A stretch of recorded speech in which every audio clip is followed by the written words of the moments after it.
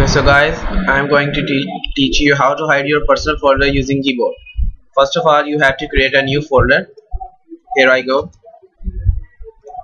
You can see that I have created a new folder.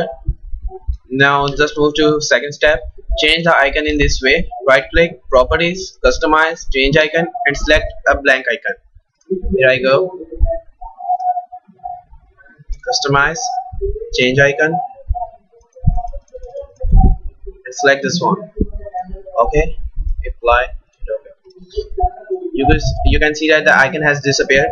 Now moving on you have to rename the folder in this way. Hold on the alt button then press 0160 from numeric keypad.